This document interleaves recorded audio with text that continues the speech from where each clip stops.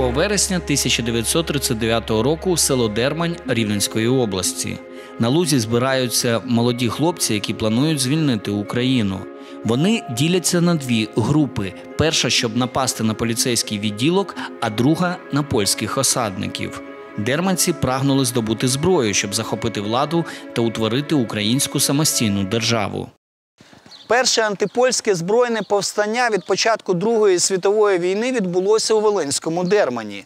Це не дивно, адже поселення століттями славилося як центр культурного і просвітницького життя. І нехай повстання придушили, однак воно задекларувало патріотичні настрої у краю. У міжвоєнний період активно діяли патріотичні організації. На початках настрої визначали емігранти з Надніпрянщини, що переїхали сюди після поразки українського проекту в 1918-1920 роках. Вони тут посіли такі ну, важливі ключові е, місця, роль відігравали е, в освітньому русі, кооперативному русі, е, створення різноманітних громадських організацій, діяльність молодіжних, жіночих, просвіта. Після навчання у місцевій школі багато дерманців продовжували вчитися у Рівненській українській гімназії, Львові та престижних європейських університетах, де не лише здобували освіту, але й дізнавалися багато про націоналістичні ідеї. Пізніше вони повернуться у рідне село та складуть міцний кістяк організації українських націоналістів. Це була нелегальна структура, на відміну від тих, тих же просвітянських хат у 30-х роках, е, яка ставила собі за мету е, відновлення самостійності України. Е, І ясно, що з огляду на це польська влада не могла дозволити існування такої політичної організації, тому діяла вона нелегально. Але популярність її вона з кожним місяцем і з кожним роком зростала. Польські поліцейські добре знали про існування організації та її членів. Тому після резонансних подій в Україні хвиля арештів українських націоналістів доходила й до Дерманя. було 27 прихильників ОУН. Були явні і були, як кажуть, е, яких, яких поль- польська поліція не знала. Ну, наприклад, у 1934 році в Дермані був арештований колишній випускник Дерманської семикласної школи Рівненської гімназії е, одного із вузів Львова Андрій Кисіль. Місцевий священик Євген Кульчинський не лише популяризує українські ідеї в проповідях, але й стає відомим як організатор культурницького руху. Його діти успішно продовжать справу батька. Дерманський монастир, який був потужним культурним центром у 16-17 століттях, неначе визначив свідомість тутешніх українців багатьох пізніших поколінь. Дослідники впевнені, нічого дивного в активності українців ХХ століття немає. Тут віддавна відстоювали православну віру, популяризували освіту, працювали і гостювали відомі інтелектуали. У Дермані були традиції. І навіть, навіть примітивний селянин, який не дуже там, може, цікавився цим, але він ходив у ту монастирську церкву, він бачив тих людей. І потім тут були знамениті люди. Єзекіїл Круцевич, випускник Падуанського університету.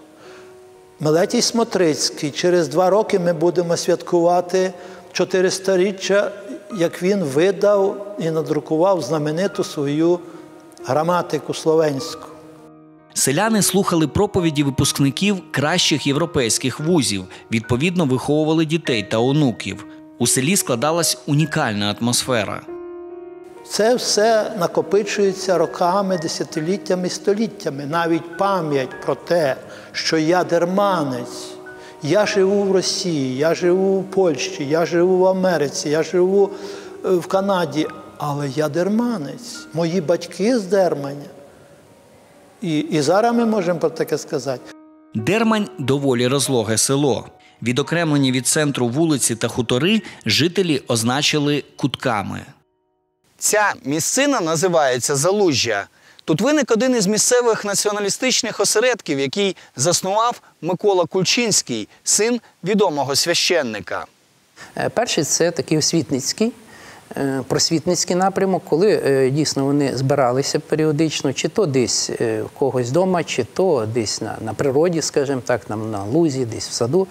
І е, вони читали якісь книги. Е, Обмінювалися якоюсь інформацією, пов'язаною з історією України, з культурою України, тобто така освітницька робота.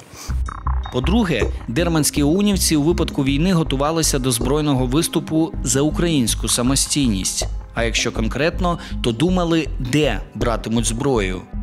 Була така е, теорія одного із лідерів е, організації українських націоналістів побудова української держави від першого села.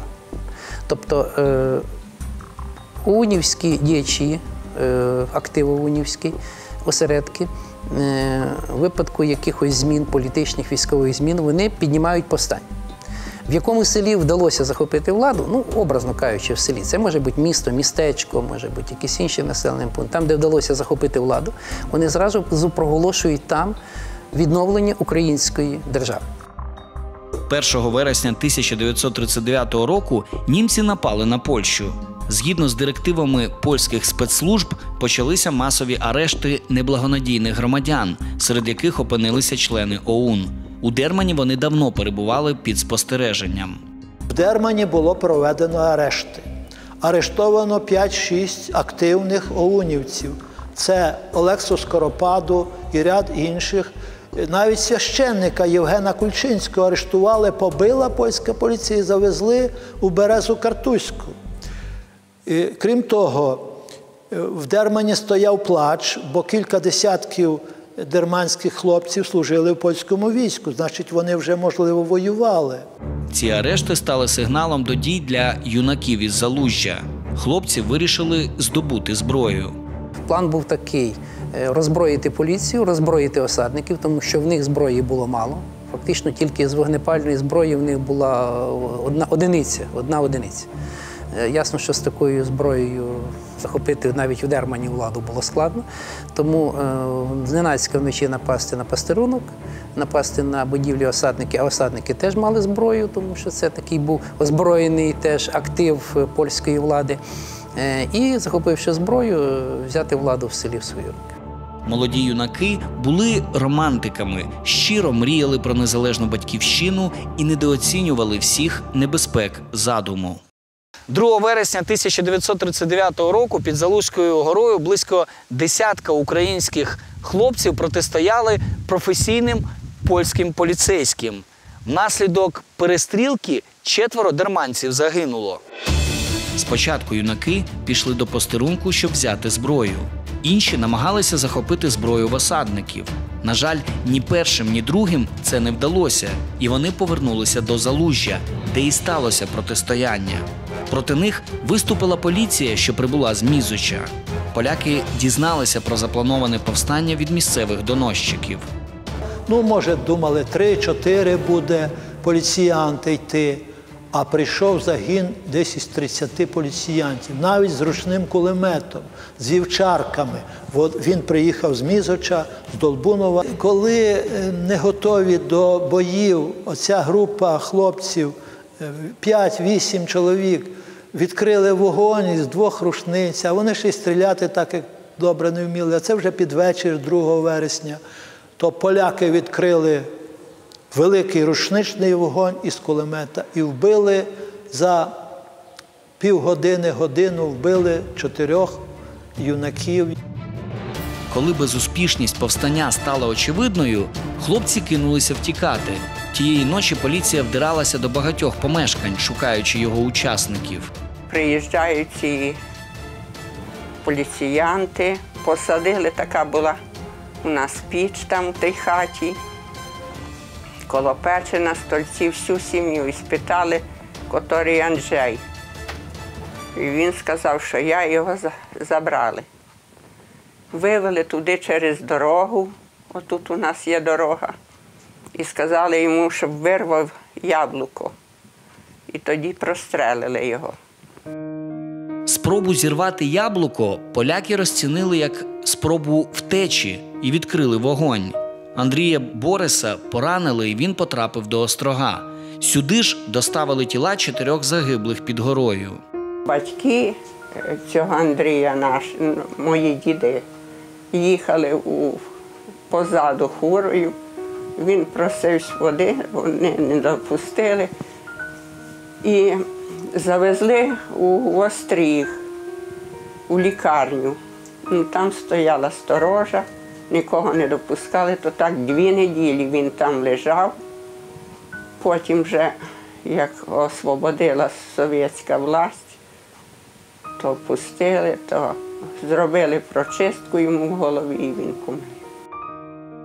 За іншими спогадами поранений був Андрій Шевронський.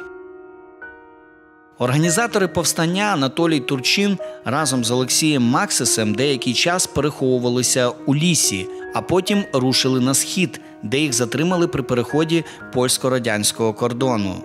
Радянська влада надзвичайно зацікавилася справою повстанців. Попервах більшовики навіть прийняли націоналістів за своїх союзників у боротьбі проти поляків. Коли тільки прийшла сюди радянська влада, то навіть було організоване урочисте перезахоронення цих хлопців, що в Острозі були там поховані, ну не поховані, а зариті, фактично тільки закопані. Їх урочисто перезахоронили на Дарецькому цвинтарі з е, присутністю великої дуже кількості людей, практично не тільки дерманці з навколишніх сіл зійшлися туди люди. Це було кількасот людей. Е, Були представники НКВС, які е, мовчки спостерігали з боку. Вони нічого не, не, не, втручались, не робили, просто спостерігали за цим дійством. Невдовзі Олексія Максися засудили за нелегальний перетин кордону. Після війни, згідно з деякими даними, він проживав на північному сході СРСР. Керівник виступу Андрій Турчин загинув у сталінському концтаборі, а декілька інших учасників у лавах УПА. Дерманське, як і багато інших повстань вересня 1939 року на Західній Україні зазнало поразки. Незважаючи на це, воно засвідчило готовність патріотів до об'єднання навколо ідеї про самостійну Україну.